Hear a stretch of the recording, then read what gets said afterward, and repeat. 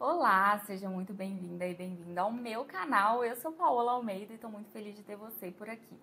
E afinal, como criar estratégias para conquistar seguidores no Instagram? o que realmente é possível, o que não é possível. E hoje eu estou aqui justamente para explicar, exemplificar e propor soluções, né, propor possibilidades reais que são realmente possíveis tanto no tráfego pago e algumas sugestões em relação ao orgânico também, para que vocês consigam aplicar no negócio de vocês ou sugerir para clientes, né, para quem presta serviço de marketing, enfim.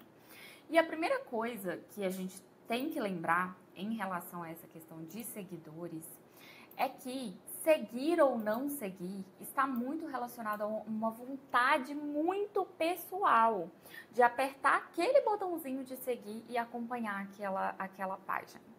Isso não está atrelado à vontade de comprar, isso não está atrelado à vontade de ter mais informações, porque para nada disso a gente precisa seguir. E um exemplo que, na verdade, estatisticamente não é válido, mas em janeiro de 2022 eu rodei essa enquete aqui para os meus seguidores e eu perguntei para eles: você já comprou de empresas que você não segue no Insta, Face? E 32% respondeu que quase sempre e 56% respondeu que é possível que sim. E 12% apenas respondeu que é provável que não. Esse é apenas um exemplo para poder mostrar para vocês que isso está muito atrelado ao comportamento do consumidor a, o que faz de fato ele querer seguir, que é diferente do que faz ele querer comprar e é diferente do que faz ele querer ver publicações, acessar um site, fazer uma inscrição, enfim.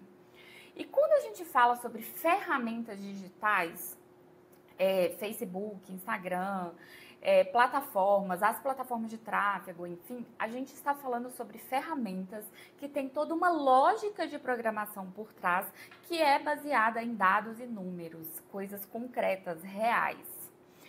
E justamente por isso eu estou aqui para exemplificar os entraves que a gente tem em relação a isso hoje, porque é, é, comum a gente ter muitos clientes que querem esse objetivo e que muitas vezes procuram um tráfego pago, procuram prestadores de serviço com esse objetivo, mas o que é possível realmente? Será que é possível? Então vamos entender isso hoje. É, a primeira coisa que eu quero mostrar para vocês é um exemplo real que é esse gráfico aqui de seguidores do meu Instagram, Paola M. Almeida. E aqui a gente pode perceber que de seguidores teve um pico aqui de 19 seguidores, isso no período dos últimos 90 dias. Então, um total de crescimento que foi positivo, a gente teve um total aí de 19, que foi o pico aí nesse período. Mas o que gera isso? O que faz com que a gente consiga seguidores? E aí eu trouxe para vocês aqui o que aconteceu nesse dia, que foi o seguinte, uma cliente de consultoria, ela gravou esse vídeo aqui para poder indicar o meu trabalho e ela marcou o meu arroba e marcou o arroba da empresa também e eu consegui compartilhar no, no tá como destaque aqui, né, no Instagram da empresa. Porém, ela marcou meu arroba, tá bem é, explícito aqui. E nesse dia eu conquistei muitos seguidores. Eu, dei, eu ganhei um pico de seguidores. E por que isso acontece? E aí eu trouxe para vocês um exemplo de por que isso acontece. Um dos caminhos é a gente entender, por exemplo, o que está atrelado ao comportamento do consumidor e o que faz com que a gente tome ou não determinadas atitudes e determinadas decisões. E uma dessas disciplinas é a neurociência. E aqui, a neurociência, ela traz algumas coisas para explicar que são os gatilhos, os gatilhos mentais, que influenciam comportamentos, tomadas de decisão e diversas outras questões que influenciam áreas como negócios, marketing, enfim, é, diversos pontos. E a gente tem uma série de gatilhos, eu vou deixar esse link aqui na descrição caso vocês queiram ler melhor, que podem explicar também essa questão de seguir ou não seguir. Então, a gente tem principalmente reciprocidade, autoridade, escassez, enfim, tem uma série de explicações e de gatilhos que podem influenciar nisso. Mas a gente nunca vai saber, a não ser que a gente pergunte individualmente o que levou uma pessoa a seguir ou não. E uma outra prova disso, por exemplo, no meu canal do YouTube, tive aqui 45 mil visualizações dos meus vídeos nos últimos 90 dias. E quantas pessoas de fato seguiram, inscreveram no meu canal? Nem 1%. Tive 274 inscritos e se a gente vem aqui nos inscritos, eu tive um pico maior nas últimas semanas aqui, ó. O maior pico de inscritos que eu tive em um dia foi no dia 24 de outubro. E foi justamente em um conteúdo que foi o conteúdo que eu mais recebi críticas no meu canal até hoje, porque as pessoas disseram que eu demorei demais, que eu enrolei demais, que eu era pro, demais. Falei, falei, não falei nada. E aí, esse foi aqui, inclusive, se a gente vier nas estatísticas do canal, a gente consegue ver que o maior número de. Deixa eu ver como é que faz para mudar isso aqui. O maior número de inscritos veio. Peraí, gente, desculpa, os vídeos técnicos aqui são ao vivo, então deixa eu só achar esse local onde eu acho essa informação aqui. Bom, eu não estou achando agora para provar para vocês. Deixa eu ver se é aqui. Esse é o número de visualizações, na verdade, não é o número de inscritos. Mas o vídeo que mais trouxe inscritos, coincidentemente, foi esse bug do Instagram, que foi o mais criticado. E uma das minhas hipóteses, porque não dá para ter certeza, é justamente essa questão, por exemplo, de reciprocidade. Então, as pessoas, elas se sentem ali tocadas, né?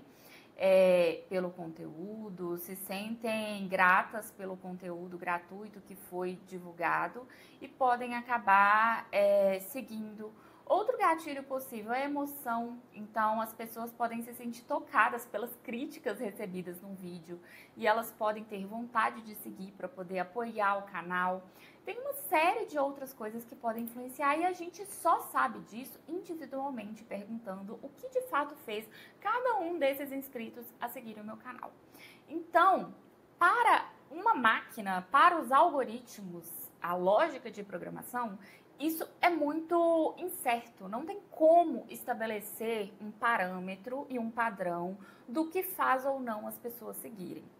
E justamente por isso, não existe hoje um objetivo para atrair seguidores no tráfego pago.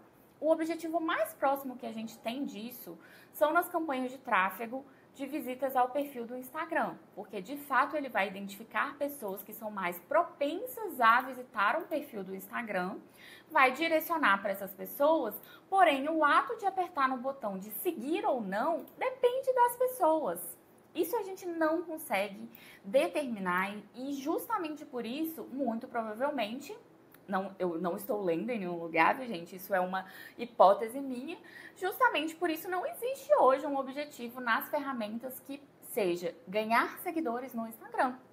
Porque tudo isso que está aqui dentro dessas ferramentas é baseado em dados, em coisas reais.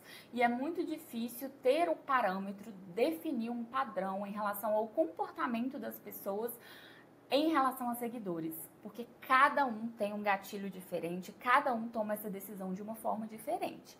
Porém, a ferramenta consegue determinar quem tem mais propensão a visitar um perfil do Instagram. Então, quem usa a ferramenta com frequência, quem costuma é, visitar os perfis e tem curiosidade para visitar, enfim, a lógica de programação determina justamente os objetivos da campanha que são possíveis de executar dentro das ferramentas. Então, essa aqui é a ferramenta oficial de anúncios, mas para quem usa né, o impulsionamento, esse, esse objetivo seria o objetivo de visitas ao perfil, que é a mesma coisa que eu acabei de mostrar na ferramenta. Então, esse objetivo aqui ele é o mais próximo possível em relação a tornar a pessoa próxima de clicar no botão de seguir, porque ela entra no perfil e vai seguir ou não. Mas essa decisão é uma coisa muito particular.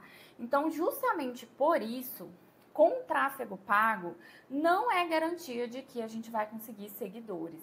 Porém, qual que é o grande diferencial do tráfego pago?